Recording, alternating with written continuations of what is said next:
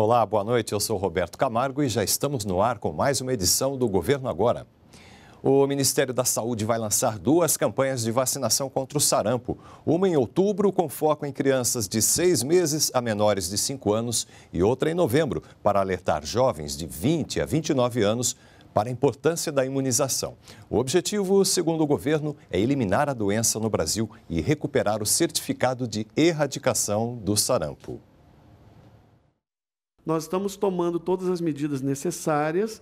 É, a vacina é uma das estratégias, não é a única. Né? Nós temos investigação laboratorial, temos a investigação de campo, tem as ações de comunicação. Então, é um conjunto de ações que são realizadas é, sistematicamente para que nós tenhamos segurança. Temos é que aumentar a cobertura vacinal. Após um mês da suspensão dos radares móveis nas rodovias federais, o número de mortes no trânsito teve queda de 19% em relação ao mesmo período do ano passado. Mesmo com a redução, a Polícia Rodoviária Federal ainda considera o número de mortes alto. Entre 15 de agosto e 15 de setembro deste ano, em média, ocorreram 51 acidentes graves por dia nas estradas federais brasileiras. Foram liberados hoje 750 milhões de reais em investimentos para o setor portuário. E com novas parcerias, a expectativa do governo é baratear os custos logísticos para produtores e consumidores.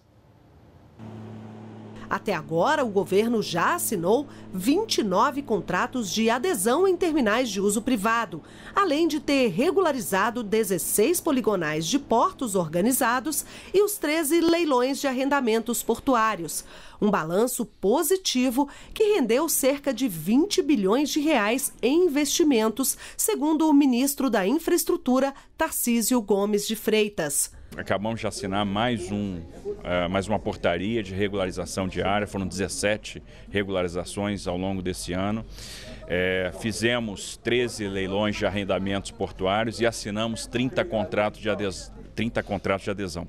Isso significa o seguinte: neste ano, se a gente somar é, os investimentos que virão por meio do setor privado nos contratos de adesão em terminais privados e nos contratos de arrendamento, nos leilões que fizemos no, nas áreas dos postos organizados, nós já somamos 20 bilhões de reais de investimento.